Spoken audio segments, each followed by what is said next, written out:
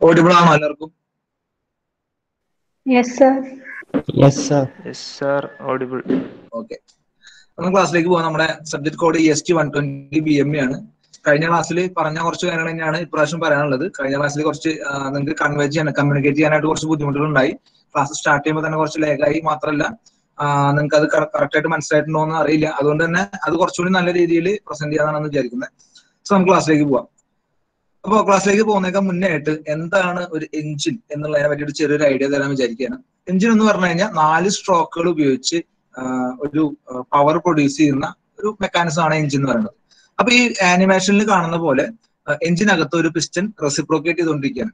ഈ piston reciprocate ചെയ്തുകൊണ്ടിരിക്കുന്നത് അതിന്റെ ഉള്ളിൽ ഒരു കമ്പഷൻ കണ്ടിന്യൂസ് ആയിട്ട് നടന്നുകൊണ്ടിരിക്കുന്നതാണ് അപ്പൊ ഈ കമ്പഷൻ എങ്ങനെ നടക്കുന്നു വെച്ച് കഴിഞ്ഞാൽ നമ്മുടെ ഒരു എയർ ഫ്യൂൽ മിക്സ്ചർ ഈ ചേമ്പറിനുള്ളിലേക്ക് നമ്മൾ കൊടുക്കുന്നുണ്ട്. അതുപോലെ ഈ എയർ ഫ്യൂൽ മിക്സ്ചറിനെ നമ്മളൊരു സ്പാർക്ക് ഉപയോഗിച്ച് ഇഗ്നൈറ്റ് ചെയ്യുന്നുണ്ട്. ദെൻ അവിടുന്ന് ഒരു ഫ്ലെയിം പ്രൊപ്പഗേഷൻ നടന്നതിന് ശേഷം ഒരു എക്സ്പ്ലോഷൻ അല്ലെങ്കിൽ ഒരു എക്സ്പാൻഷൻ നടക്കുന്നുണ്ട്.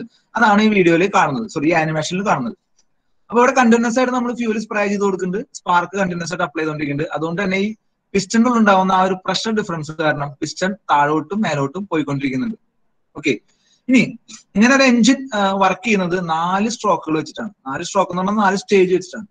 ആദ്യത്തെ സ്റ്റോ ആദ്യത്തെ സ്ട്രോക്ക് എന്ന് പറഞ്ഞു കഴിഞ്ഞാൽ നമ്മൾ ഫ്യൂവൽ കൊടുക്കുന്നതിനൊക്കെ മുന്നുള്ള സ്ട്രോക്ക് അതായത് ഫ്യൂവലിനെ അകത്തേക്ക് സക്ക് ചെയ്തെടുക്കുന്ന സ്ട്രോക്കാണ് ആദ്യത്തെ സ്ട്രോക്ക് അത് നമ്മൾ സക്ഷൻ സ്ട്രോക്ക് എന്ന് വിളിക്കും. അതായത് ഒന്നുമില്ല അപ്പൊ നമ്മൾ ഫ്യൂവൽ ഒന്നും സപ്ലൈ ചെയ്തിട്ടില്ല.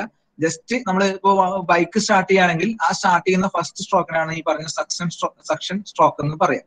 അതായത് ബൈക്ക് സ്റ്റാർട്ട് ചെയ്യാനായിട്ട് നമ്മൾ കിക്കർ അടിക്കുമ്പോൾ ജസ്റ്റ് ചുമ്മാ വെറുതെ കിടന്ന് നമ്മുടെ പിസ്റ്റൺ ഫ്രീ ആയിട്ട് മൂവ് ചെയ്യും. ആ മൂവ് ചെയ്യണ സമയത്ത് പിസ്റ്റനകത്ത് നിന്നുണ്ടാവും നമ്മളിപ്പോ ഒരു സിറിഞ്ച് നമ്മളിങ്ങനെ ബാക്കിലോട്ട് വലിക്കുമ്പോൾ അതിന്റെ ഉള്ളിൽ ഒരു നെഗറ്റീവ് പ്രഷർ ഉണ്ടാവുന്നതുകൊണ്ടാണല്ലോ നമ്മുടെ മെറ്റീരിയൽസ് അതിന്റെ അകത്തേക്ക് പോകുന്നത്. അതേപോലെ തന്നെ ഒരു എഞ്ചിൻ ഫ്രീ ആയിട്ട് നമ്മൾ കിക്കർ അടിച്ച് സ്റ്റാർട്ട് ചെയ്യുന്ന സമയത്ത് ഫ്രീ ആയിട്ട് താഴോട്ട് മൂവ് ചെയ്യുമ്പോൾ അവിടെ ഒരു നെഗറ്റീവ് പ്രഷർ ഉണ്ടാവുകയും നമ്മുടെ എയർ ഫ്യൂൽ മിക്സർ എഞ്ചിന്റെ അകത്തേക്ക് വരികയും ചെയ്യും. അതാണ് നമ്മുടെ ഫസ്റ്റ് സ്ട്രോക്ക് നിങ്ങളൊക്കെ മനസ്സിലാക്കി വെക്കട്ടെ. അതാണ് നമ്മുടെ ഫസ്റ്റ് സ്ട്രോക്ക് അത് കഴിഞ്ഞാൽ ആ ആ ഒരു പിസ്റ്റന്റെ മോഷൻ അവിടെ കൊണ്ട് നിൽക്കുന്നു നിങ്ങൾക്ക് തോന്നുന്നുണ്ടാ? ഇല്ല. ഇത് നമുക്ക് ഒരിക്കൽ ഒരു കിക്കർ അടിച്ചു കഴിഞ്ഞാൽ പിസ്റ്റൺ ഒരു നാലഞ്ച് പ്രാവശ്യം മേലോട്ടും താഴോട്ടും റെസിപ്രോക്കേറ്റ് ചെയ്യും. അതാണ് അങ്ങനെയാണ് അതിന്റെ അറേഞ്ച്മെന്റ് അപ്പൊ ഫസ്റ്റ് നമ്മൾ അടിക്കുന്ന സമയത്ത് ആ ഒരു ഫ്രീ ആയിട്ട് പിസ്റ്റൺ താഴോട്ട് വരുമ്പോൾ നമ്മുടെ ഫ്യൂൽ എയർ മിക്സർ എഞ്ചിന്റെ ചാമ്പറിന്റെ അകത്തേക്ക് കയറും.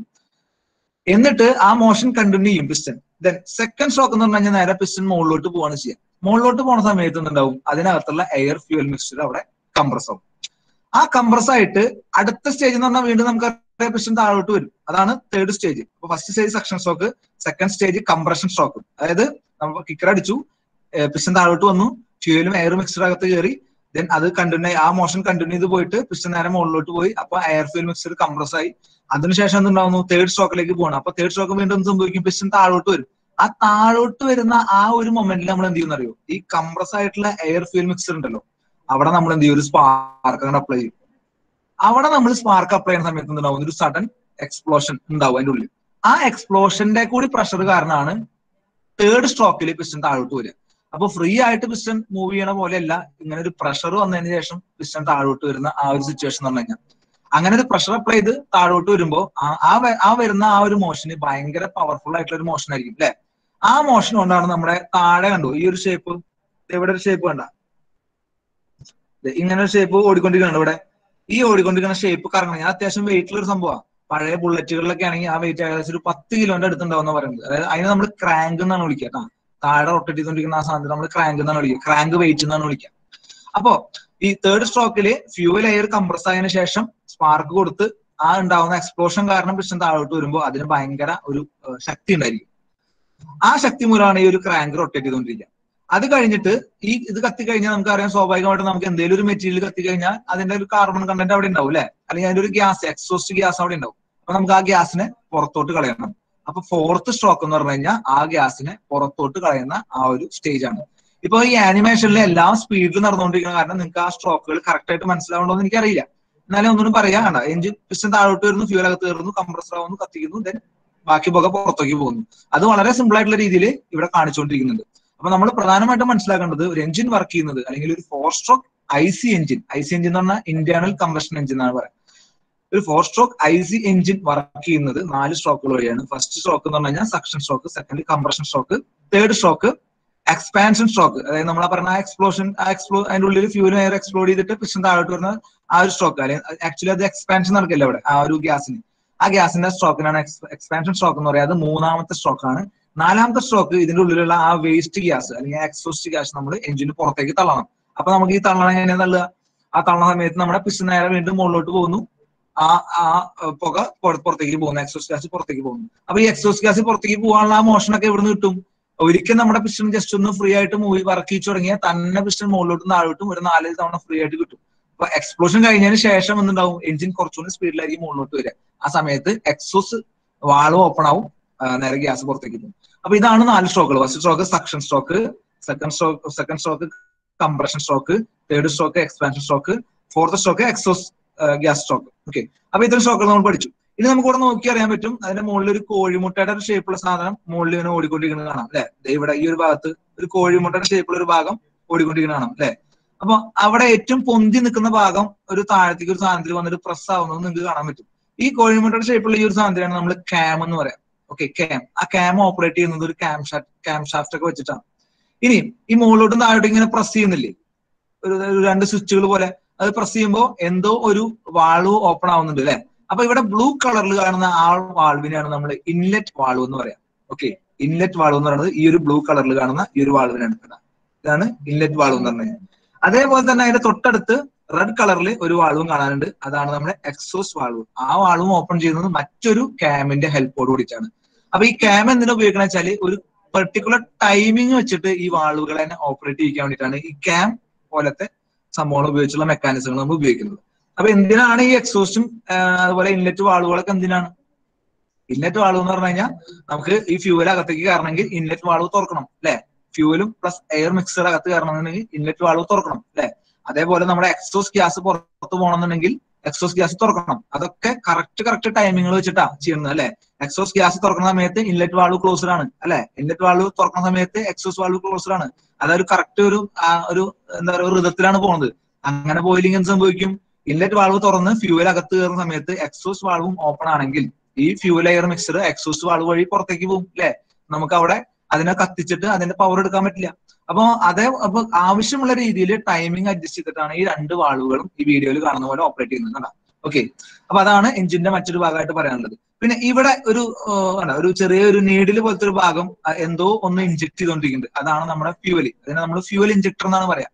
ഫ്യൂവൽ ഇഞ്ചക്ടറും കറക്റ്റ് ടൈമിംഗ് വെച്ചിട്ടാണ് ഫ്യൂവലിനെ ഇഞ്ചെക്ട് ചെയ്തുകൊണ്ടിരിക്കുന്നത് അപ്പൊ ഈ ഒരു വഴിയായിരിക്കും നമ്മുടെ എയർ നമ്മൾ സക്ക് ചെയ്തെടുക്കട്ടെ നോർമലായിട്ട് എയർ എഞ്ചിനകത്തേക്ക് കയറാൻ ഈ ഒരു വഴിയാണ്.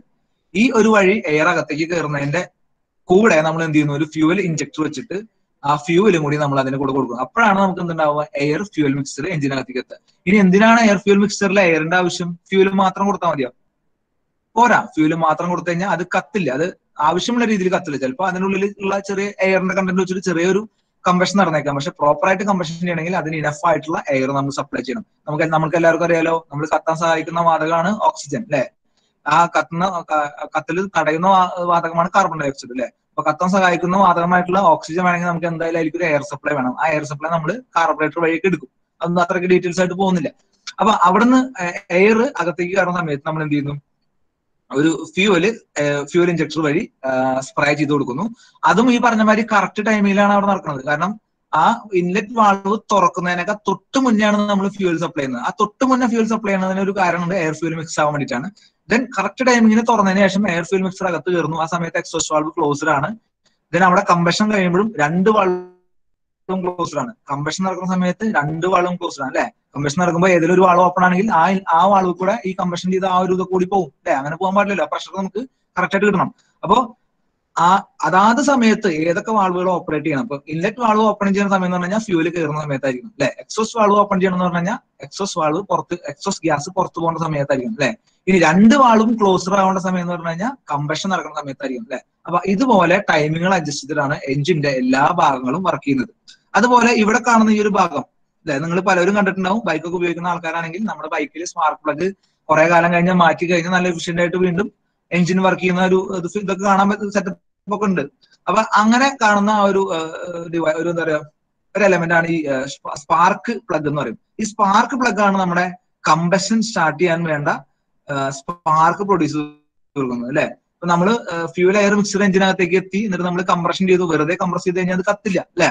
അങ്ങനെ വെറുതെ കംപ്രസ് ചെയ്തിട്ട് അതിലേക്ക് സ്പ്രേ ചെയ്യുമ്പോൾ കത്തുന്ന ഒരു എഞ്ചിനാണ് ഡീസൽ എഞ്ചിൻ അതിലേക്ക് ഞാൻ പിന്നെ വരാം. ഇപ്പൊ പെട്രോൾ എഞ്ചിനെ പറ്റിയിട്ടാണ് പറഞ്ഞുകൊണ്ടിരിക്കുന്നത് കേട്ടോ അപ്പൊ പെട്രോൾ എഞ്ചിനിൽ നമ്മൾ ഈ പറഞ്ഞ മാതിരി എയർ ഫ്യൂൽ മിക്സർ കംപ്രസ് ചെയ്ത് കഴിഞ്ഞാൽ നമുക്ക് അവിടെ കത്താനുള്ള സാധ്യത വളരെ കുറവാണ്. ഇനിയിപ്പോ ഏതെങ്കിലും ഒരു സാഹചര്യത്തിൽ എഞ്ചിൻ ഭയങ്കര ഹീറ്റ് ആയിട്ടിരിക്കുന്ന സമയത്ത് ചിലപ്പോൾ കത്തിക്കൂടാന്നൊന്നും നിർബന്ധം പറയാൻ പറ്റില്ല. ഓക്കെ പക്ഷെ നോർമൽ കണ്ടീഷനിൽ അങ്ങനെ കത്തില്ല. അപ്പൊ ആ ഒരു കത്താനായിട്ടൊരു നമ്മൾ സ്റ്റാർട്ടിങ്ങിന് വേണ്ടിയിട്ടാണ് ഈ ഒരു സ്പാർക്ക് പ്ലഗ് ഉപയോഗിക്കുന്നത്. അപ്പൊ ആ സ്പാർക്ക് പ്ലഗ് ആണ് ഇതിന്റെ എഞ്ചിന്റെ ഏകദേശം ഒരു മിഡിൽ പോർഷനിൽ കാണാൻ പറ്റുക. അപ്പോ ഈ ഫസ്റ്റ് സ്ട്രോക്കിൽ സക്ഷൻ കഴിഞ്ഞു സെക്കൻഡ് സ്ട്രോക്കിൽ കംപ്രഷൻ ആയി. ആ കംപ്രഷൻ നടക്കുന്ന ആ ഒരു സമയം നോക്കിയിട്ടാണ് കറക്റ്റ് നമ്മുടെ സ്പാർക്ക് പ്ലഗ് ആ ഒരു air fuel compressed air fuel മിക്സറിലേക്ക് spark കൊടുക്കുക. അപ്പൊ അങ്ങനെ സ്പാർക്ക് കൊടുക്കുമ്പോഴാണ് ഈ ഒരു പറഞ്ഞ നമ്മുടെ പിസ്റ്റൺ വീണ്ടും വർക്കിങ്ങിലേക്ക് പോകുന്നത്. അപ്പൊ അതിന് വേണ്ടിയിട്ട് ഈ എയർ ഫ്യൂൽ മിക്സർ കംപ്രസ് ആയി നിൽക്കുന്ന സമയത്ത് അതിനെ കത്തിക്കാനായിട്ട് അതിനെ ബേൺ ചെയ്യിക്കാനായിട്ട് ഒരു സ്പാർക്ക് പ്രൊവൈഡ് ചെയ്യാനാണ് നമ്മുടെ ഈ സ്പാർക്ക് പ്ലഗ് അവിടെ ഉപയോഗിച്ചിരിക്കുന്നത്. അപ്പൊ ഇത്രയാണ് ബേസിക്കലി ഒരു എഞ്ചിന്റെ വർക്കിംഗ് എന്ന് പറഞ്ഞു കഴിഞ്ഞാൽ. ഓക്കെ ബേസിക് മെക്കാനിക്കൽ എഞ്ചിനീയറിംഗ് പഠിക്കുന്നതിന് മുന്നേ ആയിട്ട് ഏറ്റവും ഇമ്പോർട്ടന്റ് ആയിട്ടുള്ള ഒരു എഞ്ചിന്റെ വർക്കിംഗ് മനസ്സിലാക്കി വെക്കുന്നത് നല്ലതാണ്. അപ്പൊ അതുകൊണ്ടാണ് ഇത്രയും ഒരു ബേസ്മെന്റ് നിങ്ങൾക്ക് തന്നത്. ഇനി നമ്മുടെ ടോപ്പിക്കിലേക്ക് പോവാം. നമ്മുടെ സിലബസിൽ ആദ്യത്തെ നമ്മൾ പറഞ്ഞു തെർമോഡൈനാമിക് സൈക്കിൾസ് ആണ് നമ്മുടെ ആദ്യത്തെ ടോപ്പിക്സ് എന്ന് പറഞ്ഞു കഴിഞ്ഞാൽ. ആ തെർമോഡൈനാമിക് സൈക്കിൾസിന്റെ തന്നെ മൂന്ന് ഇമ്പോർട്ടന്റ് ആയിട്ടുള്ള സൈക്കിളുകൾ നമ്മൾ കഴിഞ്ഞ ക്ലാസ്സിൽ പറഞ്ഞതാണ്. Carnot cycle Otto cycle Diesel cycle അപ്പൊ ഇനി എന്താണ് കാർണോട്ട് സൈക്കിൾ കാർണോട്ട് സൈക്കിളിലേക്ക് നോക്കാം. കഴിഞ്ഞ ക്ലാസ്സിൽ പറഞ്ഞേക്കാം കുറച്ചുകൂടി എഫക്റ്റീവ് ആക്കാൻ വേണ്ടിയിട്ട് കാർണോട്ട് സൈക്കിളിന്റെ ഒരു ആനിമേഷൻ കൊണ്ടുവന്നിട്ടുണ്ട്. അപ്പൊ അതൊന്ന് നോക്കാം. അതിന് മുന്നേറ്റ് അതിന്റെ ഒരു എക്സ്പ്ലനേഷൻ ഉണ്ട്. ഈ എക്സ്പ്ലനേഷൻ നിങ്ങൾക്ക് ആവശ്യമാണെന്ന് തോന്നുന്നുണ്ടെങ്കിൽ നിങ്ങൾക്ക് എഴുതി വെക്കണമെന്നുണ്ടെങ്കിൽ ജസ്റ്റ് ഒന്ന് സ്ക്രീൻഷോട്ട് എടുത്ത് വെച്ചോ. നമ്മൾ ആ സൈറ്റിൽ എക്സ്പ്ലെയിൻ ചെയ്യുന്ന സമയത്ത് ഓൾറെഡി പറയാൻ ഉദ്ദേശിക്കുന്ന കാര്യങ്ങൾ തന്നെയാണ്. അഡീഷണൽ ആയിട്ട് ഒന്നുമില്ല. അപ്പൊ ഇതൊന്ന് സ്ക്രീൻഷോട്ട് എടുത്ത് വെക്കുകയാണെങ്കിൽ നിങ്ങൾക്ക് കൂടുതൽ നോട്ടിലേക്ക് എഴുതിയിരിക്കുന്ന സമയത്ത് അതിൽ എഴുതി ചേർക്കാനായിട്ട് പറ്റും ഇതൊരു ടെക്സ്റ്റിന്റെ ടെക്സ്റ്റ് റെഫർ ചെയ്തിട്ടുള്ള ഒരു പ്രസന്റേഷൻ ആണ്. ഇതൊന്ന് സ്ക്രീൻഷോട്ട് എടുക്കാൻ രണ്ട് സെക്കൻഡ് എടുത്തോളൂ. വീഡിയോബിൾ അല്ലേ കുഴപ്പമൊന്നുമില്ലല്ലോ. ഹലോ? ഓഡിയബിൾ അല്ലേ ഓക്കെ. എന്തെങ്കിലും ഡൗട്ടുകൾ ഏതെങ്കിലും ഭാഗത്ത് ക്ലിയർ ആവണമെന്നുണ്ടെങ്കിൽ അപ്പൊ തന്നെ പറഞ്ഞു നമുക്ക് അപ്പൊ തന്നെ ക്ലിയർ ചെയ്യാം കേട്ടോ ഞാനൊരു കണ്ടിന്യൂസ് ആയിട്ട് നിങ്ങൾക്ക് ഒരു ഐഡിയ കിട്ടിക്കോട്ടെ വെച്ചിട്ടാണ് കണ്ടിന്യൂസ് ആയിട്ട് പറഞ്ഞു പോയത്. അപ്പോ ഈ ഒരു ടെക്സ്റ്റ് എന്ന് പറഞ്ഞ ഈ ഒരു പി പി ടി എന്ന് പറഞ്ഞു കഴിഞ്ഞാൽ ജെ ബെഞ്ചമിൻ എന്ന് പറഞ്ഞ basic mechanical engineering text book ഒന്ന് സ്ക്രീൻഷോട്ട് ചെയ്ത് വെച്ചിട്ടുള്ളതാണ്. അപ്പോ ഈ ഈ ഒരു ഭാഗം നിങ്ങൾ സ്ക്രീൻഷോട്ട് എടുത്ത് വെച്ചു എന്ന് വിചാരിക്കുന്നു. അല്ലെ? അതിൽ ഇമ്പോർട്ടന്റ് ആയിട്ട് പറയുന്ന കുറച്ച് പോയിന്റുകൾ ഉണ്ട് നമ്മുടെ ഈ ഒരു തെർമോഡൈനാമിക് സൈക്കിളിൽ ഫോർ പ്രോസസ് ആണുള്ളത്. ആ നാല് പ്രോസസ്സുകൾ ഐസോതേർമലി ആൻഡ് അഡയബാറ്റിക്കലി ആണ് നടക്കുന്നത്. അതിൽ തന്നെ isothermal expansion adiabatic expansion adiabatic adiabatic expansion isothermal compression അങ്ങനെ നാല് തരത്തിൽ എന്താ പറയാ അറേഞ്ച് ചെയ്തിട്ടുള്ള നാല് പ്രോസസ്സുകളാണ് ഈ ഒരു സിസ്റ്റത്തിൽ നടക്കുന്നത്. അതുപോലെ പറഞ്ഞിട്ടുണ്ട് ഈ ഒരു സിസ്റ്റം വർക്ക് ചെയ്യുന്ന ആ ഒരു പിസ്റ്റൺ അറേഞ്ച്മെന്റ് വളരെ ഫ്രീ ആണ്. അതായത് ഫ്രിക്ഷൻലെസ് ആണെന്നുള്ള ഒരു പോയിന്റ് അവിടെ പറയുന്നുണ്ട്. പിന്നെ പറയുന്നുണ്ട് ഫസ്റ്റ് സ്റ്റേജിലെ പ്രഷറും വോളിയും ടെമ്പറേച്ചറും ഒക്കെ P one V one T one എന്നുള്ള രീതിയിൽ കറക്റ്റ് ആയിട്ട് എടുക്കാൻ പറ്റും. പിന്നെ കുറച്ച് കാര്യങ്ങളൊക്കെ പറയുന്നുണ്ട്. Okay one two process T S ഡയഗ്രത്തിൽ straight line ആണ്. അതൊക്കെ എന്താണ് അത്? എന്തുകൊണ്ടാണ് അത് അങ്ങനെ ആവണേ എന്നുള്ള കാര്യമൊക്കെ പറഞ്ഞുതരാം കേട്ടോ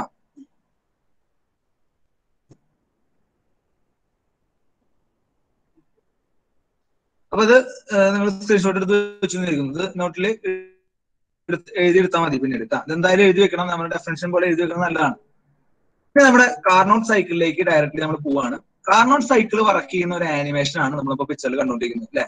ഈ പിസ്റ്റനിൽ ഉണ്ടാവുന്ന ഈ നാല് സ്റ്റേജുകൾ ഇവിടെ നമ്മൾ പറയുന്ന നാല് സ്ട്രോക്കുകളല്ല കറക്റ്റ് മെയിന്റെയിൻ ചെയ്യുന്നത് ഒരു ഹീറ്റ് എഞ്ചിൻ ഉണ്ട്. ആ ഹീറ്റ് എഞ്ചിന് നാല് പ്രോസസ്സുകൾ ഉണ്ട്. എല്ലാ എഞ്ചിനും ഒരേപോലെ ആവണമെന്ന് നിർബന്ധമില്ല കേട്ടോ ഞാൻ നേരത്തെ പറഞ്ഞ മാതിരി പെട്രോൾ എഞ്ചിൻ വർക്ക് ചെയ്യുന്ന പോലെയല്ല ഡീസൽ എഞ്ചിൻ വർക്ക് ചെയ്യാം അപ്പോൾ സ്വാഭാവികമായിട്ടും പെട്രോൾ എഞ്ചിനിൽ ഉപയോഗിക്കുന്ന സൈക്കിൾ അല്ല ഡീസൽ സൈക്കിളിൽ ഉപയോഗിക്കാം ഓട്ടോ സൈക്കിൾ ഡീസൽ സൈക്കിളുമായിട്ട് ഒരുപാട് വ്യത്യാസമുണ്ട്. അതുപോലെ തന്നെ വ്യത്യാസമുള്ള മറ്റൊരു സൈക്കിളാണ് കാർണോട്ട് സൈക്കിൾ ഈ കാർണോട്ട് സൈക്കിളാണ് നമ്മുടെ ബേസിക് സൈക്കിൾ അതായത് നമ്മൾ ഏതൊരു കാര്യം നമ്മൾ സ്റ്റഡി ചെയ്യണ്ടെങ്കിലും ഈ ഒരു സ്റ്റാൻഡേർഡ് സൈക്കിളിനെ റെഫർ ചെയ്തുകൊണ്ടായിരിക്കും നമ്മൾ സ്റ്റഡി ചെയ്യുക ഓക്കെ അതായത് നമ്മൾ എന്താ പറയുക ഒരു മോഡൽ സൈക്കിൾ എന്നൊക്കെ പറയണ. മറ്റൊരു സൈക്കിളാണ് കാർണോട്ട് സൈക്കിൾ അപ്പൊ ലെഫ്റ്റ് സൈഡിൽ നോക്കി കഴിഞ്ഞാൽ നിങ്ങൾ ഈ പറഞ്ഞ മാതിരി പിസ്റ്റൻ താഴോട്ടും മേലോട്ടും വരുന്നുണ്ട്. കാരണം നമ്മൾ നമ്മളിവിടെ ഫ്യൂൽ സപ്ലൈ ചെയ്യുന്നുണ്ട്. അതിനെ കമ്പഷൻ നടത്തുന്നുണ്ട്. ദെൻ വീണ്ടും എക്സോസ് ഗ്യാസ് പോകുന്നുണ്ട്. അങ്ങനെയൊക്കെ നമ്മൾ കണ്ടിന്യൂസ് ആയിട്ട് നടന്നുകൊണ്ടിരിക്കുകയാണ്. ഓക്കെ ഇനി അതിന് കറസ്പോണ്ടിങ് ആയിട്ടുള്ള ഒരു സൈക്കിൾ ആണ് റൈറ്റ് സൈഡിൽ കാണിച്ചേക്കുന്നത്. അപ്പൊ ഇത് വളരെ സ്പീഡിലാണ് ഓടിക്കൊണ്ടിരിക്കണേ. നിങ്ങൾക്ക് അത്രയും ഡീറ്റെയിൽ ആയിട്ട് ഏതൊക്കെ ഏതൊക്കെ സൈക്കിളുകളാണ് ഏതൊക്കെ സമയത്ത് നടക്കണേ എന്നുള്ള ഒരു ഡൗട്ട് ഉണ്ടാവും. പക്ഷെ ഒരു ചെറിയ ഐഡിയ ഉണ്ടാക്കിക്കുക ഇതേപോലെ പിസ്റ്റൺ വർക്ക് ചെയ്യുന്ന ഓരോ സ്റ്റേജുകളുമാണ് ഈ റൈറ്റ് സൈഡിലുള്ള പ്രഷർ വേഴ്സസ് വോളിയം ഡയഗ്രത്തിൽ നമ്മൾ റെപ്രസെന്റ് ചെയ്തേക്കുന്നത് ക്ലിയർ ആയല്ലോ? ഇനി ഓരോ കോർണറിലും ഈ ചാർട്ടിൽ കാണുന്ന ഈ കർവിൽ കാണുന്ന ഓരോ കോർണറാണ് നമ്മൾ ഓരോ സ്റ്റേജുമായിട്ട് പറയണത്. കാരണം ഓരോ സ്റ്റേജിലും ഭയങ്കര ഡിഫറെന്റ് ആയിട്ടുള്ള രീതിയിൽ ഇതിന് മാറ്റങ്ങൾ വരുന്നത് നിങ്ങൾക്ക് കാണാൻ പറ്റും. ഓക്കെ അപ്പൊ ഇതാണ് നമ്മൾ ആക്ച്വലി ഒരു തെർമോഡൈനാമിക് സൈക്കിൾ എന്ന് പറഞ്ഞു കഴിഞ്ഞാൽ അതായത് നമ്മുടെ കയ്യിലൊരു ഹീറ്റ് എഞ്ചിൻ ഉണ്ട്. ആ ഹീറ്റ് എഞ്ചിൻ വർക്ക് ചെയ്യുന്നതിനനുസരിച്ച് നമ്മളൊരു സൈക്കിൾ പ്രിപ്പയർ ചെയ്ത് വെച്ചേക്കാണ്. അത് എന്തിനാന്ന് വെച്ചാൽ നമുക്ക് പ്രഷർ വോളിയം സ്റ്റഡികളൊക്കെ നടത്താൻ വേണ്ടിട്ടാ അല്ലെ? നമ്മളിപ്പോ ഈ ഒരു ഓടിക്കൊണ്ടിരിക്കുന്ന സാധനത്തിന് ഈ ഒരു റെഡ് ബോളിനെ എവിടെയെങ്കിലും വെച്ച് പോസ് ചെയ്യുകയാണെങ്കിൽ അതായത് ആ ഒരു പ്രഷർ സ്റ്റേജ് വണ്ണിൽ വെച്ചിട്ട് നമ്മൾ പോസ് ചെയ്തു. അപ്പൊ നമുക്ക് എന്തൊക്കെ കിട്ടും ഈ ചാർട്ടിൽ നിന്ന് പ്രഷർ പ്രഷർ വണ്ണിലുള്ള ആ സമയത്തെ വോളിയം എത്രയാന്ന് നമുക്കറിയാം. അത് ഏത് പ്രോസസ്സിന്റെ അണ്ടറിൽ വരുന്ന കാര്യമാണെന്ന് അറിയാം അത്രയും കാര്യങ്ങൾ നമുക്ക് ഡീറ്റെയിൽ ആയിട്ട് മനസ്സിലാക്കാൻ വേണ്ടിയിട്ടാണ് ഇത്തരം സൈക്കിളുകൾ നമ്മൾ കൊണ്ടുവന്നിട്ടുള്ളത്. ഇനി നമുക്ക് ഈ പ്രഷർ വേഴ്സസ് വോളിയം സൈക്കിൾ തന്നെ ഒന്നുകൂടി എക്സ്പ്ലെയിൻ ചെയ്ത് പറയാം. ഇന്നലെ നിങ്ങളോട് നോട്ട് ചെയ്ത് വെക്കാൻ പറഞ്ഞിട്ടുള്ള ഒരു സൈക്കിൾ ആയിരുന്നു ഈ പ്രഷർ വേഴ്സസ് ഡയഗ്രം എന്ന് പറയുന്നത്. അപ്പൊ ഇതിലെ നാല് പ്രോസസ്സുകൾ ഉണ്ടാവുന്ന കാര്യം ഇന്നലെ പറഞ്ഞിട്ടുണ്ട്. ഇത് വരച്ചെടുക്കാത്തവരുണ്ടെങ്കിൽ ഒരു ഒരു മിനിറ്റ് ഉപയോഗിച്ച് ഒന്ന് വരച്ചെടുക്കും. വരച്ചെടുക്കാത്തവരുണ്ടോ? ആരെങ്കിലും ഉണ്ടെങ്കിൽ പറയണം. അല്ലെങ്കിൽ നമുക്ക് ക്ലാസ് കണ്ടിന്യൂ ചെയ്യാം. പി വി ഡയഗ്രാം ഇന്നലെ പറഞ്ഞ ക്ലാസ്സിൽ വരച്ചെടുക്കാത്തവരുണ്ടോ? പി വി ഡയഗ്രാം എന്ന് പറയുന്നത് pressure pressure versus volume diagram അത്രേ ഉള്ളൂ. ആരുമില്ലല്ലോ? വരച്ചെടുക്കാത്തവർ ആരുമില്ല എന്ന് ഇരിക്കുന്നു എനിബഡി ആരെങ്കിലും ഉണ്ടെങ്കിൽ പറഞ്ഞോട്ടോ. ആരായാലും കുഴപ്പമില്ല. അതൊന്നും ഒരു ബുദ്ധിമുട്ടില്ല. നിങ്ങൾ പറഞ്ഞു വെച്ചിട്ട് നിങ്ങളോട് question ചോദിക്കൊന്നുമില്ല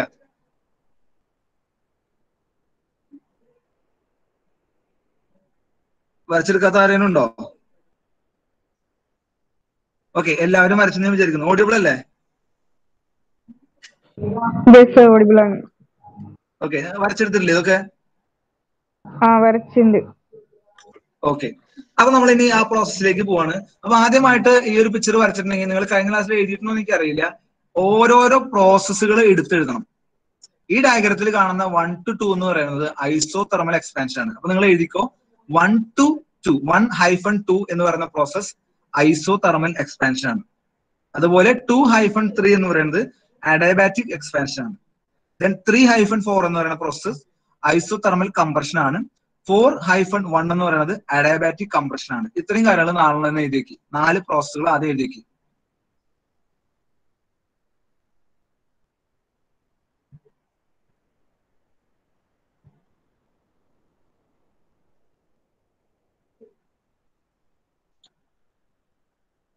one to two two to three three to four four to one നാല് പ്രോസസ്സുകൾ ഡയഗ്രാം വരച്ചാൽ താഴെ എഴുതിച്ചാൽ മതി.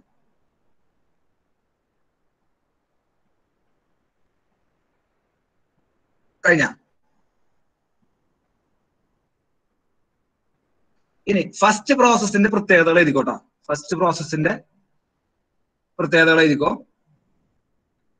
ഫസ്റ്റ് പ്രോസസ്സിലുള്ള വൺ ടു എന്ന് പറഞ്ഞ സ്റ്റേജ് അത് ഐസോ തെർമൽ എക്സ്പാൻഷൻ ആയതുകൊണ്ട് ഐസോ തെർമൽ എക്സ്പാൻഷൻ എന്ന് പറഞ്ഞു കഴിഞ്ഞാൽ ഐസോ എന്ന വാക്കിനർത്ഥം ഒരേപോലെ ഉള്ളതെന്നാണ്. തെർമൽ എന്ന് പറഞ്ഞാൽ ടെമ്പറേച്ചർ ആണ്. ഓക്കെ ഐസോ തെർമൽ എന്ന് പറഞ്ഞു കഴിഞ്ഞാൽ ഒരേപോലെയുള്ള ടെമ്പറേച്ചർ ആയിരിക്കും ഈ പ്രോസസ്സിൽ ഉണ്ടാവുക. That means T one is equal to T two അതാണ് ഇവിടുത്തെ മെയിൻ ആയിട്ടുള്ള ഒരു പോയിന്റ് അപ്പൊ ഐസോ തെർമൽ എക്സ്പാൻഷന്റെ പ്രത്യേകതകൾ എഴുതുമ്പോൾ ഇവിടുത്തെ ടി വൺ എന്ന് പറയുന്ന ടെമ്പറേച്ചറും ടി ടു എന്ന് പറയുന്ന ടെമ്പറേച്ചറും സെയിം ആണ്. അപ്പൊ നിങ്ങൾക്ക് തോന്നും ഈ ഡയഗ്രത്തിൽ സാറേ ഇത് രണ്ടും രണ്ട് ലൊക്കേഷനിലാണോ കിടക്കണേ എന്നുള്ള ഡൗട്ട് വരും. കാരണം ഇത് പി വി ഡയഗ്രമാണ് ഇവിടെ അങ്ങനെ കിടന്നുകൊണ്ട് പ്രശ്നമില്ല. നമ്മൾ ഇനി ടി എസ് ഡയഗ്രം നോക്കി വിചാരിക്കാം. ഓക്കെ ഇതാണ് T S diagram T S diagram നോക്കുമ്പോൾ നിങ്ങൾക്ക് വ്യക്തമായിട്ട് ആ ഒരു കാര്യം മനസ്സിലാവും. ടി വൺ എന്ന് പറയുന്നതും ടി ടു എന്ന് പറയുന്നതും ഒരേ ലൈനിലാണ് ഓക്കെ അപ്പൊ അതിനർത്ഥം എന്താ? ടി വൺ എന്ന temperature is equal to T two അതൊന്ന് മനസ്സിലാക്കി വെക്കുക അപ്പൊ അതൊന്ന് ഈ ഫസ്റ്റ് പ്രോസസ്സിന്റെ പ്രത്യേകത എഴുതുമ്പോൾ അത് എഴുതാം. ഐസോതെർമൽ എക്സ്പാൻഷൻ എന്ന് പറയുന്നത് temperature one is equal to temperature two എഴുതിയോ? അതേപോലെ തന്നെ മറ്റൊരു പ്രത്യേകത എന്ന് പറഞ്ഞാൽ അവിടെ പ്രഷർ ഡ്രോപ്പ് ഉണ്ടാവും. പ്രഷർ ഡ്രോപ്പ് ഉണ്ടാവുന്നുണ്ട്. എവിടേക്ക്? അവിടെ P one is lesser than sorry P two is lesser than P one അത് എഴുതിക്കുക pressure of stage two is lesser than pressure of stage one അപ്പൊ അവിടെ സംഭവിക്കുന്നുണ്ട്? ഒരു പ്രഷർ ഡ്രോപ്പ് സംഭവിക്കുന്നുണ്ട്.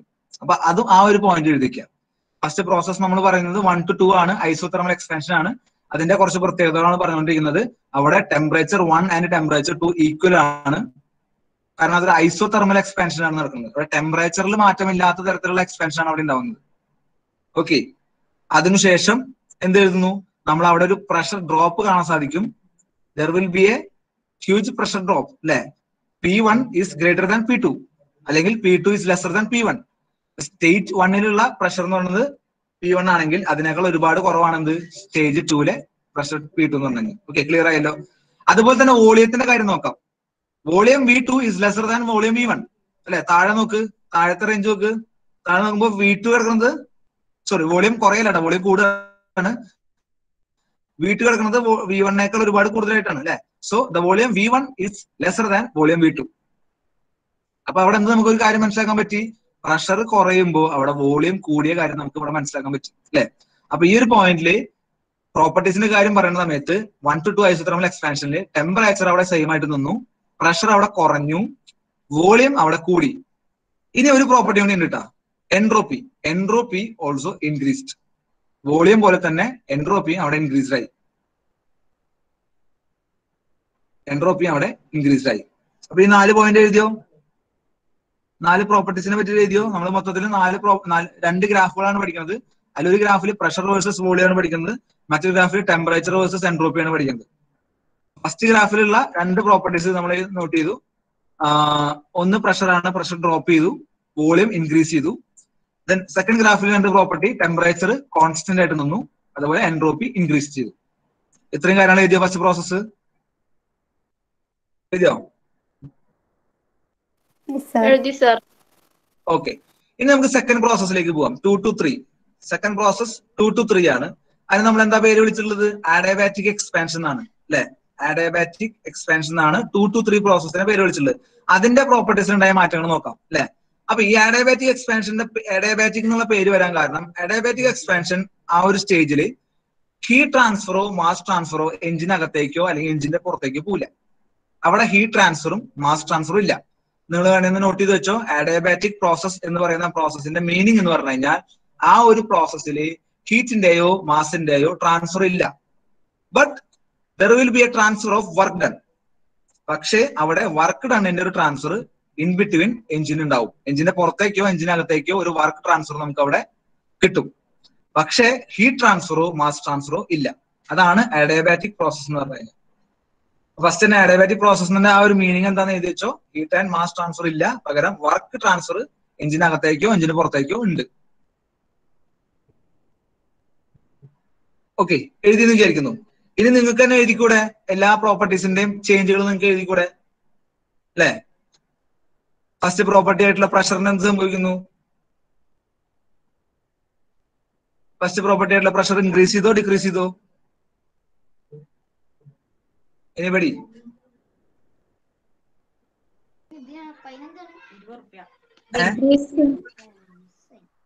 ഇൻക്രീസ് ചെയ്തോ?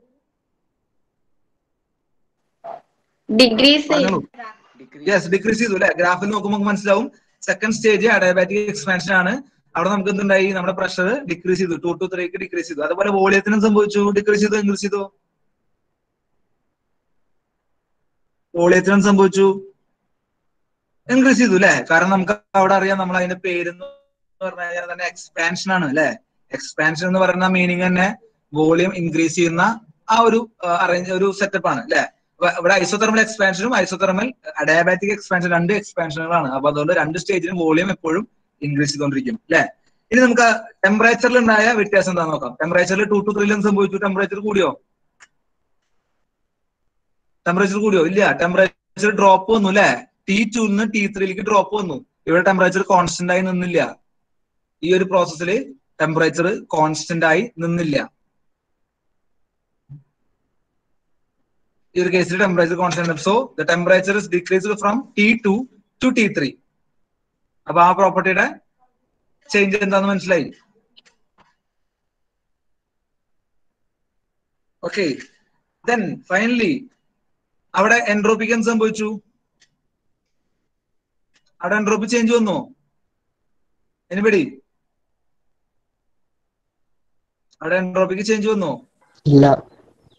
ഇല്ല എൻട്രോപ്പിക്ക് ചേഞ്ച് വന്നിട്ടില്ല. Entropy is remaining the same അപ്പൊ ടി ടു അതായത് എൻട്രോപ്പിനെ നമ്മൾ റെപ്രസെന്റ് ചെയ്യാൻ എസ് വെച്ചിട്ടാണ് ലെറ്റർ എസ് സിഗ്നേച്ചറിന്റെ എസ് സ്റ്റാർട്ടിങ് എസ് അതാണ് എൻട്രോപ്പി അപ്പൊ S S two is equal to S three അത് കോൺസ്റ്റന്റ് ആണ്. There will be no change in entropy in adiabatic process okay അപ്പൊ അത് നിങ്ങൾ മനസ്സിലാക്കി വെക്കുക. അപ്പൊ ഉള്ള നാല് പ്രോപ്പർട്ടി ചേഞ്ച് മനസ്സിലായി. ദെൻ നെക്സ്റ്റ് പ്രോസസ് എടുക്കുകയാണ് three to four three to four isothermal compression ആണ്. Three to four isothermal compression ആണ്. അല്ലെ? ഐസോതെർമൽ കംപ്രഷൻ ആണ്. അവിടെ ആ ഒരു പേര് നിങ്ങൾ ശ്രദ്ധിക്കണം. ഐസോതെർമൽ എന്ന് പറഞ്ഞു കഴിഞ്ഞാൽ ടെമ്പറേച്ചറിൽ ചേഞ്ച് ഇല്ല. കംപ്രഷൻ എന്ന് പറയുമ്പോൾ എന്ത് സംഭവിക്കും? പ്രഷറും കൂടാൻ സാധ്യതയുണ്ട്. വോളിയം കുറയാനും സാധ്യതയുണ്ട്. അല്ലെ? അപ്പൊ അതിന്റെ പ്രോപ്പർട്ടീസ് നോക്കി നോക്കിയേ. ത്രീ ടു എന്ത് സംഭവിക്കുന്നു? നിങ്ങൾ നോട്ട് ചെയ്യാട്ടാ. ത്രീ ടു ഫോർ എന്ന് പറഞ്ഞ പ്രോസസ് ഐസോ തെർമൽ കംപ്രഷൻ ആണ്. ഐസോതെർമൽ എന്ന് പറഞ്ഞാൽ അവിടെ ടെമ്പറേച്ചർ കോൺസ്റ്റന്റ് ആണെന്ന് അറിയാം. അതുകൊണ്ട് അതവിടെ നിൽക്കട്ടെ ആ ഡയഗ്രത്തിലേക്ക് പോകുമ്പോൾ പറഞ്ഞാൽ മതി. ഇവിടെ പ്രഷറിനെയും വോളിയത്തിന്റെയും കാര്യം നോക്കാം. Pressure is increase from P three to P four അല്ലെ? അതുപോലെ volume is decreased from V three to V four കാരണം എന്താ? അതൊരു കംപ്രസ്ഡ് കംപ്രഷൻ പ്രോസസ് ആയിരുന്നു. അപ്പോ വി ത്രീ എന്ന് പറയുന്ന വോളിയത്തിൽ നിന്ന് എന്തുണ്ടായി? വി ഫോർ എന്ന് പറയുന്ന വോളിയത്തിലേക്ക് ഒരു ഡിക്രീസ് ആണ് അവിടെ ഉണ്ടായത്. രണ്ട് പ്രോപ്പർട്ടീസ് കിട്ടി. ഫോർത്ത് തേർഡ് പ്രോസസ്സിൽ ത്രീ ടു ഫോർ ഐസോതെർമൽ കംപ്രഷനിൽ എന്തായി നമ്മുടെ ടെമ്പറേച്ചർ കോൺസ്റ്റന്റ് ആയിട്ട് നിന്നു. അടുത്ത അടുത്ത ഡയഗ്രാം വരുമ്പോൾ പറയാം. ദെൻ പ്രഷർ ഇൻക്രീസ് ചെയ്തു. വോളിയം ഡിക്രീസ് ചെയ്തു.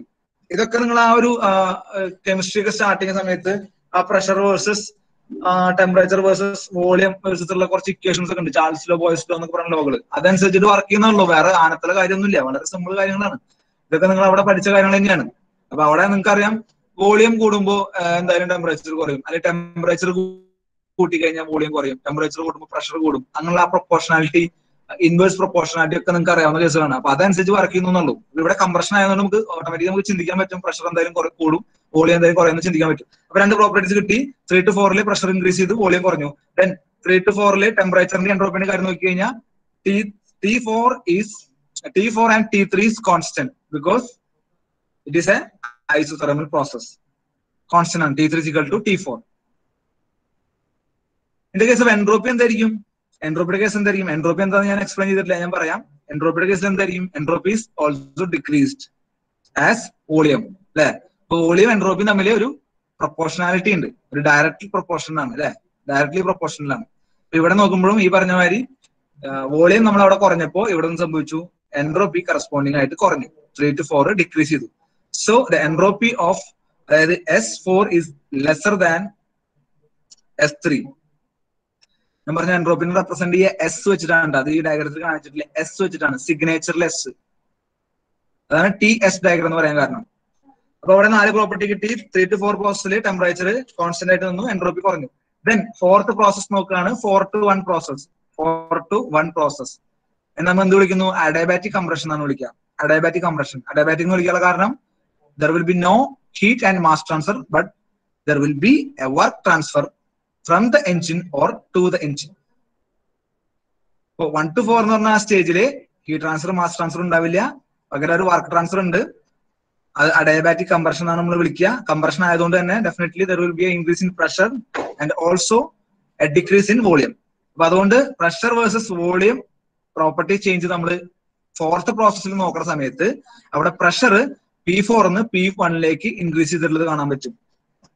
ദെൻ വോളിയം വി ഫോർന്ന് വി വണ്ണിലേക്ക് ഡിക്രീസ് ചെയ്ത് കാണാൻ പറ്റും. അപ്പൊ ഇവിടെ രണ്ട് പ്രോപ്പർട്ടി ചേഞ്ച് കിട്ടിയല്ലോ. ഇതിനടുത്ത ടി എസ് ഡയഗ്രത്തിലേക്ക് പോവാം. ടി എസ് ഡയഗ്രത്തിലേക്ക് പോകുന്ന സമയത്ത് ഇവിടെ in the case of temperature there will be a increase in temperature temperature is increased from T three to T one so ഇവിടെ ടി വണ്ണിലേക്ക് ടെമ്പറേച്ചർ കൂടി ഇൻക്രീസ് ചെയ്തു അല്ലേ അപ്പോ ടി ത്രീന്ന് ടി വണ്ണിലേക്ക് സോറി ടി ഫോർന്ന് ടി വൺ ടി ത്രീ അല്ല ടി ഫോറിന് ടി ടി ത്രീ നമുക്ക് വേണമെങ്കിൽ പറയാട്ടോ കാരണം വെച്ചാൽ ടി ഫോറും ടി ടി ത്രീ സെയിം ആണല്ലോ.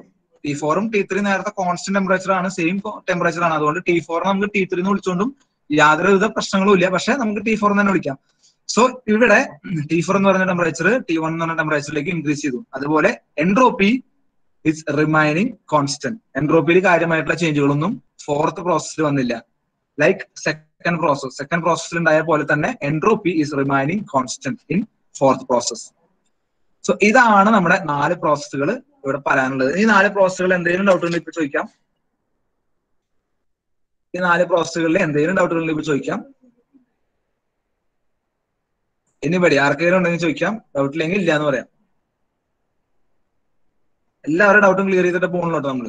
കാരണം ഇതിനെ പറ്റിയിട്ട് നിങ്ങൾക്ക് ഒരു ബേസിക് ഐഡിയ കിട്ടിയാലാണ് ബാക്കി രണ്ട് സൈക്കിളിനെ പറ്റി കിട്ടുള്ളൂ. ആ ബാക്കി രണ്ട് സൈക്കിളുകളുടെ ഐഡിയ കിട്ടി കഴിഞ്ഞാൽ പിന്നെ ഫസ്റ്റ് മൊഡ്യൂൾ ഓൾമോസ്റ്റ് തീർന്നു. ഫസ്റ്റ് മൊഡ്യൂൾ എന്ന് പറഞ്ഞാൽ ആക്ച്വലി നിങ്ങളുടെ സബ്ജക്റ്റിന്റെ third module sorry fourth module total സബ്ജക്റ്റിന്റെ fourth മൊഡ്യൂളാണ് നമ്മളിവിടെ ഫസ്റ്റ് മൊഡ്യൂളായിട്ട് എടുക്കുന്നത്. ക്ലിയർ ആണല്ലോ? ഓഡിയബിൾ അല്ലേ? ഓക്കെ അപ്പൊ നാല് പ്രോസസ്സുകൾ പറഞ്ഞു. One to two two to three three to four then four to one നാല് പ്രോസസ്സുകൾ പറഞ്ഞു. നാല് പ്രോസസ്സുകൾ എന്തിന്റെ ബേസിൽ വർക്ക് ചെയ്യുന്നതാണ് നമ്മുടെ ഹീറ്റ് എഞ്ചിൻ എന്ന് പറയുന്ന ഒരു എഞ്ചിന്റെ കൺസെപ്റ്റ് ഉണ്ടെങ്കിൽ ആ കൺസെപ്റ്റിൽ പിസ്റ്റൺ റൺ ചെയ്യുമ്പോൾ അവിടെ നടക്കുന്ന നാല് സ്റ്റേജുകളാണ് ഇവിടെ പറയുന്നത്. ഇനി എന്താണ് ഈ നാല് സ്റ്റേജുകൾ എന്നുള്ളതിന്റെ ഒരു ജനറൽ ആയിട്ടുള്ള ഒരു ഐഡിയ പറഞ്ഞുതരാം. ഐസോതെർമൽ എക്സ്പാൻഷൻ എന്ന് പറയുമ്പോൾ നമ്മൾ നേരത്തെ പറഞ്ഞു കംപ്രസർ ആയിട്ടുള്ള ആ ഒരു എയർ ഫ്യൂൽ മിക്സറിലേക്ക് ചെറിയ രീതിയിൽ നമ്മൾ സ്പാർക്ക് പ്രൊഡ്യൂസ് ചെയ്യുന്ന സമയത്ത് അവിടെ ടെമ്പറേച്ചറിൽ ചേഞ്ച് ഇല്ലാതെ ഒരു എക്സ്പാൻഷൻ നടക്കുന്നുണ്ട്. ടെമ്പറേച്ചറിൽ ചേഞ്ച് ഇല്ലാതെ ഒരു എക്സ്പാൻഷൻ നടക്കുന്നുണ്ട്. അവിടെ ടെമ്പറേച്ചറിൽ ചേഞ്ച് ഇല്ല എന്ന് പറയാൻ കാരണം അവിടെ പ്രത്യേകിച്ച് വർക്ക് ഡൺ നമ്മൾ എടുക്കുന്നില്ല. ഐസോതെർമൽ എക്സ്പാൻഷനിൽ ഒരു പ്രത്യേകിച്ച് നമ്മുടെ വർക്ക് ഡൺ നമ്മൾ അവിടെ നിന്ന് എടുക്കുന്നില്ല. അതുകൊണ്ട് തന്നെ അവിടെ ടെമ്പറേച്ചർ മാറുന്നില്ല. അതായത് അവിടുത്തെ എനർജിയുടെ ആ ഒരു ക്വാണ്ടിറ്റി അവിടെ റിമൈൻ കോൺസ്റ്റന്റ് ആണ്. അപ്പൊ വൺ ടു ടു പ്രോസസ്സിലുള്ള എനർജി നമ്മൾ അവിടെ നിന്ന് എടുക്കുന്നില്ല. അതുകൊണ്ട് തന്നെ അവിടെ ടെമ്പറേച്ചർ മെയിൻ കീപ്പ് ചെയ്ത് പോയി.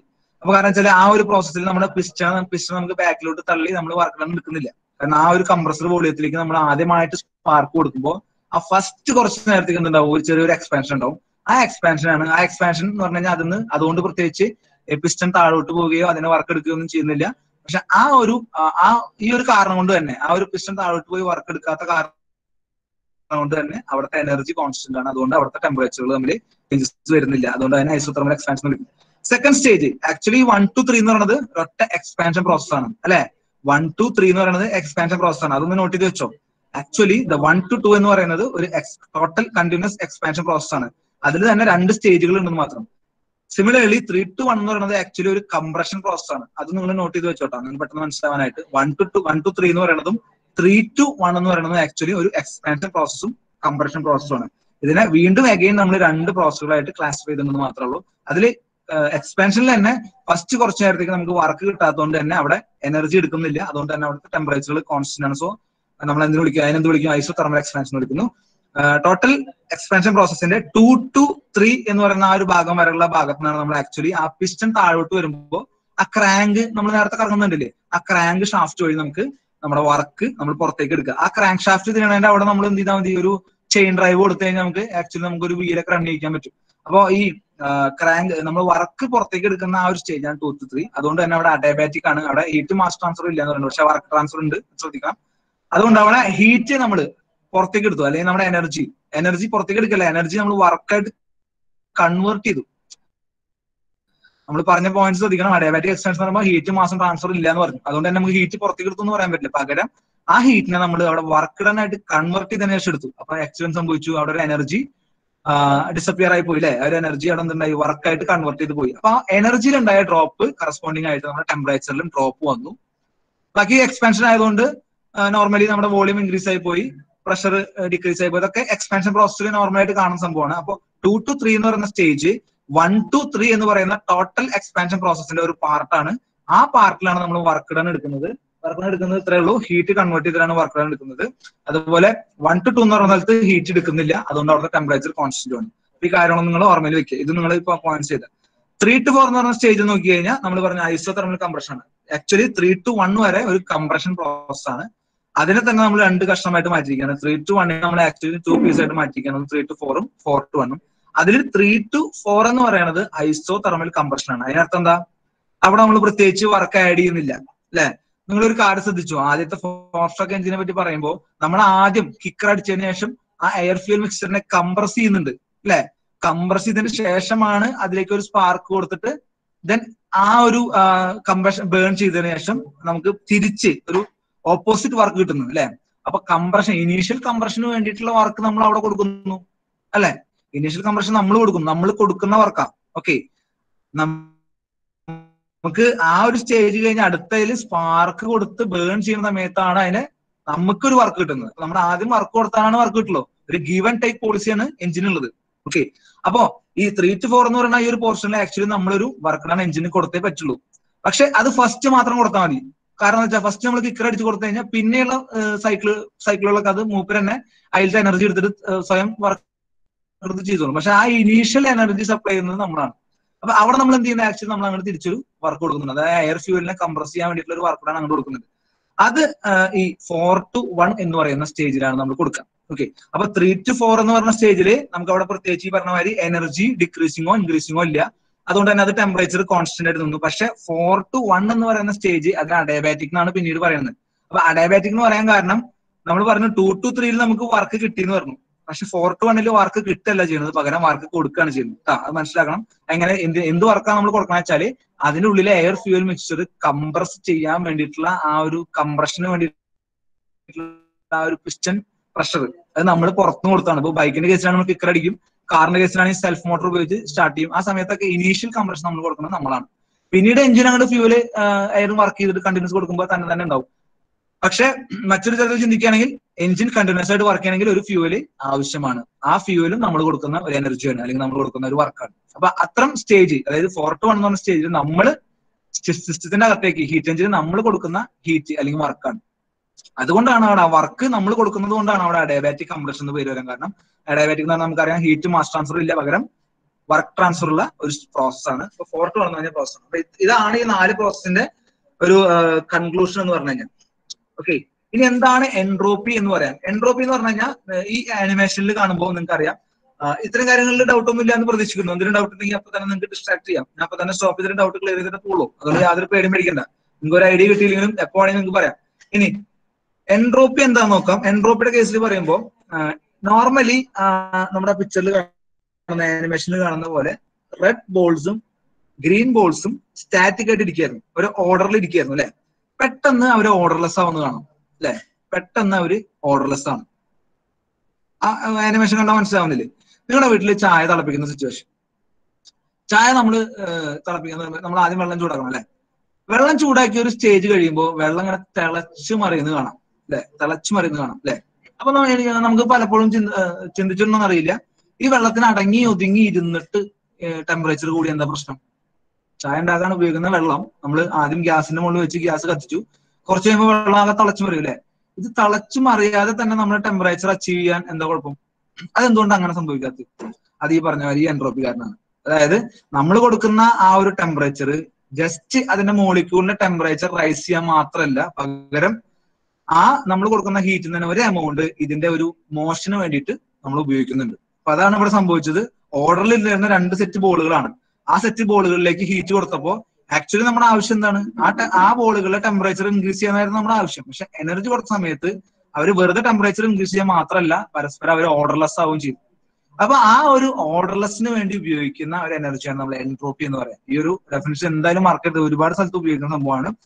നമ്മൾ ഒരു ഒരു ഒരു വോളിയം എന്തെങ്കിലും ഒരു സാധനത്തിലേക്ക് നമ്മൾ ഒരു ഹീറ്റ് കൊടുക്കും. ആ ഹീറ്റ് കൊടുക്കുമ്പോൾ ജസ്റ്റ് അതിന്റെ ടെമ്പറേച്ചർ ഇൻക്രീസ് ചെയ്യുക മാത്രമല്ല പകരം അതിനുള്ളിലത്തെ മോളിക്യൂൾസ് ഓർഡർലെസ് ആവുകയും ചെയ്യുന്നു. ആ ഓർഡർലെസ് ആവാൻ വേണ്ടി ഉപയോഗിക്കുന്ന യൂട്ടിലൈസ് ചെയ്യുന്ന എനർജിനെയാണ് നമ്മൾ എൻട്രോപ്പി എന്ന് വിളിക്കുക. അപ്പോ അപ്പൊ എൻട്രോപ്പി എന്താണെന്നുള്ള പ്രോപ്പർട്ടി മനസ്സിലായല്ലോ?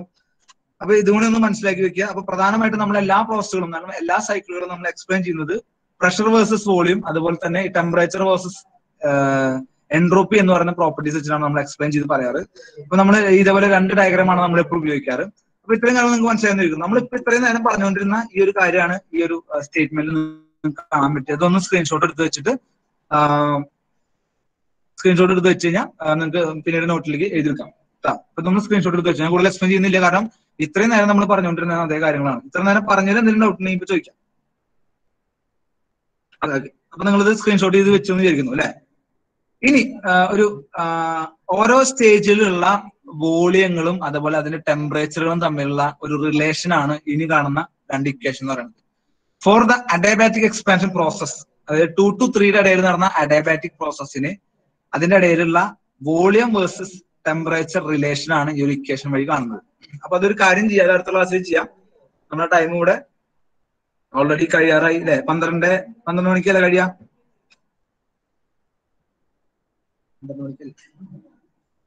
ഓക്കെ അപ്പൊ ജസ്റ്റ് ഇത്രയും കാര്യങ്ങൾ നിങ്ങൾക്ക് മനസ്സിലായെന്ന് വിചാരിക്കുന്നു. ഓക്കെ അപ്പൊ ഇന്നത്തെ ഫസ്റ്റ് ക്ലാസ്സിൽ എഞ്ചിനെ പറ്റി പറഞ്ഞു. എയർ സ്റ്റാൻഡേർഡ്സ് കാർബൺ സൈക്കിളിനെ പറ്റി പറഞ്ഞു. അവർ എഞ്ചിൻ വർക്ക് ചെയ്യുന്നതിനനുസരിച്ചുള്ള സൈക്കിൾ നമ്മൾ എക്സ്പ്ലെയിൻ ചെയ്തു. സൈക്കിളിലുള്ള നാല് പ്രോസസ്സിനെ പറ്റി പറഞ്ഞു. നാല് പ്രോസസ്സിൽ ഉണ്ടാവുന്ന പ്രോപ്പർട്ടി ചേഞ്ചസിനെ പറ്റി പറഞ്ഞു.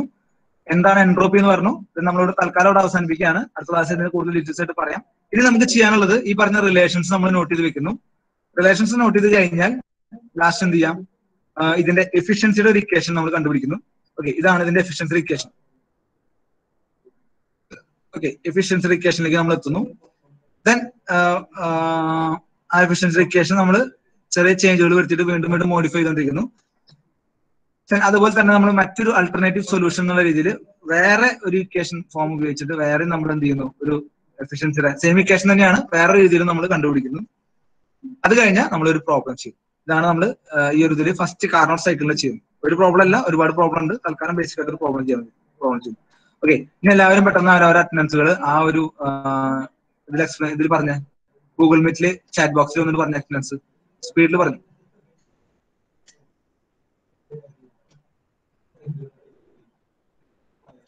നിങ്ങൾ ടൈപ്പ് ചെയ്തിട്ടുള്ളത് അറ്റൻഡൻസ് ആണോ? ഓക്കെ അറ്റൻഡൻസ് ടൈപ്പ് ചെയ്യാത്തവരുണ്ടെങ്കിൽ ടൈപ്പ് ചെയ്തോളൂ കേട്ടോ അത് കഴിഞ്ഞാൽ ടൈപ്പ് ചെയ്ത് കഴിഞ്ഞവരുണ്ടെങ്കിൽ ലീവ് ചെയ്ത് പൊക്കോളൂ. താങ്ക് യു ഇന്നത്തെ ക്ലാസ് എല്ലാവർക്കും മനസ്സിലായെന്ന് ഇരിക്കുന്നു പേഴ്സണൽ ആയിട്ട് എന്ത് ഡൗട്ട് ഉണ്ടെങ്കിലും എന്റെ വാട്സപ്പ് നമ്പറിൽ വന്ന് പറഞ്ഞു കഴിഞ്ഞാൽ പേഴ്സണൽ ആയിട്ട് പറയാൻ പറ്റും. പിന്നെ എനിക്ക് തോന്നുന്നു ഇതിലുള്ള സച്ചിൻ ടീറോയ് എന്റെ ഒരു നൈബറാണ് ആണ്. അപ്പോ മൂപ്പര് ഇതിലുള്ള ഒരു സന്തോഷം. അല്ലെ സച്ചിൻ? ഓക്കെ അതെ അതെ. ആ ഓക്കെ ഓക്കെ അപ്പൊ ഞാൻ ക്ലാസ്സിൽ കാണാം. എല്ലാവർക്കും താങ്ക് യു അതിൽ ചാറ്റ് ബോക്സിൽ പറഞ്ഞു കഴിഞ്ഞാൽ എല്ലാവർക്കും ലീവ് ചെയ്ത് പോവാം.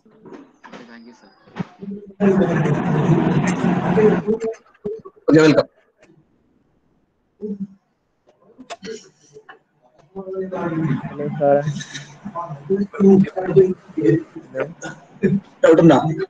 ഹലോ സാറേ ക്ലാസ് റൂമിന്റെ ലിങ്ക് ഒന്ന് ഗ്രൂപ്പിൽ ഇടുവോ ആ ഈ ക്ലാസിന്റെ ലിങ്ക് ഗ്രൂപ്പിൽ ഇടും. ഈ അല്ല ക്ലാസ് റൂം ഇല്ലേ ക്ലാസ് റൂം ഗൂഗിൾ ക്ലാസ് റൂമിന്റെ ആണോ? ആ അതിന്റെ ലിങ്ക് ഒന്ന് ഇടുവോ ഗ്രൂപ്പിൽ ഓ ഈ ഗൂഗിൾ മീറ്റിന്റെ ലിങ്ക് ഉണ്ട് അല്ല ഞാൻ ക്ലാസ് റൂമിൽ ഇല്ല അപ്പൊ ആഡ് ചെയ്യാവനാ ഗൂഗിൾ ക്ലാസ് റൂമിന്റെ ലിങ്ക് ആണ് വേണ്ടത് അല്ലെ ആടാ അത് ട്യൂട്ടർ അടുത്ത് ചോദിക്കേണ്ടി വരും. ട്യൂട്ടർ ഐഡിയിലായിരിക്കും അത് ഉണ്ടാക്കിണ്ടാവുക നമുക്ക് ഷെയർ ചെയ്യാനായിട്ട് പറ്റുമെന്ന് അറിയില്ല. ഞാൻ ചോദിച്ചോക്കാം എന്തായാലും മുഹമ്മദ് നസീബ് അല്ലേ എന്നെ ഒന്ന് പേഴ്സണൽ ആയിട്ട് വാട്സപ്പിൽ കോൺടാക്ട് ചെയ്താ ഓക്കെ ഓക്കെ. ശരി താങ്ക് യു ബാക്കിയുള്ളവർ പൊക്കോളൂ. Thank you.